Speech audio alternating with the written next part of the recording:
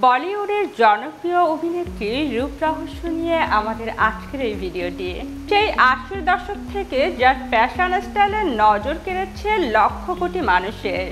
বলছি মাধুরী দীক্ষিতের কথা। সমসাময়িক তো বটেই, যেখানে পঞ্চান্ন বসন্তে এসেও তিনি তরুণ প্রজন্মের আইকন, যার লাস্যময়ী হাসির মোহের জালে আটকে পড়েছেন নবীন থেকে নবীন প্রজন্ম থেকে প্রজন্ম সাথে অসাধারণ নৃত্য অভিনয় এবং রূপের জাদুতে রাজত্ব করেছেন যিনি বলিউডে বলিউডের হার্টথ্রব অভিনেত্রীর সৌন্দর্যের প্রশংসা পুরো বিশ্বজোড়া পঞ্চান্ন বছর বয়সে এসেও এই অভিনেত্রীর সৌন্দর্যের রূপের রহস্য কি তা নিয়ে ভক্তদের মনে আসে নানা প্রশ্ন যদিও এই প্রশ্নের উত্তর তিনি এড়িয়ে যাননি কখনোই मुझे बार बार पूछा जाता है और वो है कि आप अपने स्किन के लिए क्या करती हैं इसी प्रश्न का उत्तर लेकर अब मैं ये वीडियो बना रही हूँ জানতে চাইলে ডায়েট বা রূপচর্চা নিয়ে তিনি কথা বলেন খোলাখুলিভাবে রূপে গুণে অনন্যা এই মাধুরী দীক্ষিত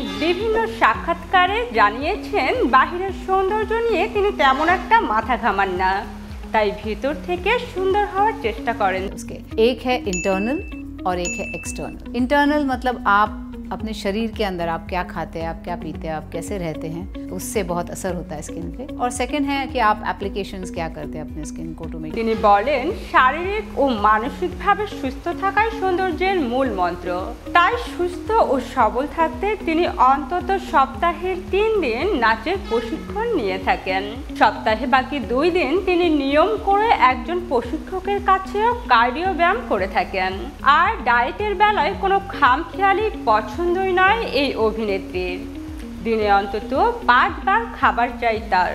তবে ডায়েট চার্ট বা তালিকাভুক্ত খাবার খাওয়া না হলেও অবশ্যই তিনি প্রতিদিনের খাদ্য তালিকায় পুষ্টিকর খাবার খাওয়ার চেষ্টা করেন।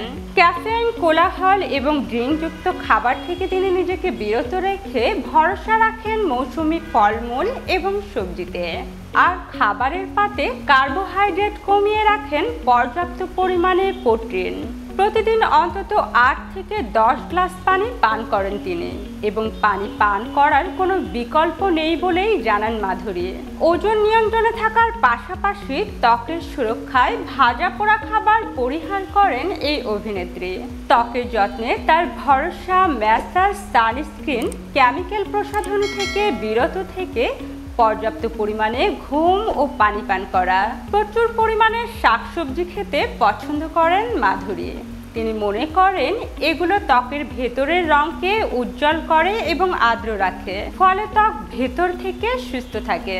দুশ্চিন্তাগ্রস্ত থাকলে তার ত্বক এবং শরীরের উপর প্রভাব ফেলে। তাই ত্বককে ভালো রাখতে হলে নিয়মিত ধ্যান করতে হবে। এতে করে মানসিক স্ট্রেস ফ্রি থাকা যাবে।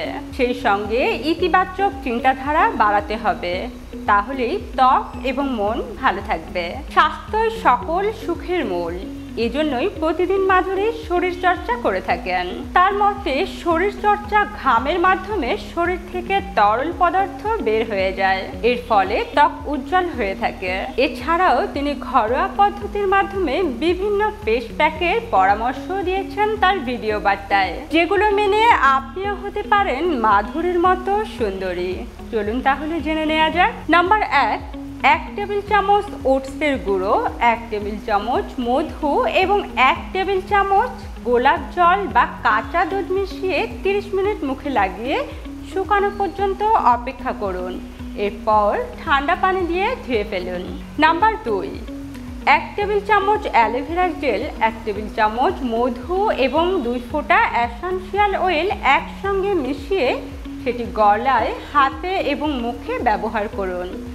এতে আপনার ত্বকের স্যান দূর হবে এবং ত্বকও সেই সাথে হবে উজ্জ্বল। নাম্বার তিন যদি ত্বক বেশি ক্লান্তিভাব দেখা দেয়, তাহলে কয়েক টুকরা শসা পানিতে ভিজিয়ে সেটি ফ্রিজে কিছুক্ষণ রেখে দিন। তারপর সেটি ফ্রিজ থেকে বের করে ত্বকে কিছুক্ষণ ম্যাসেজ করুন। দেখবেন ত্বকের ক্লান্তিভাব দূর হয়ে গেছে।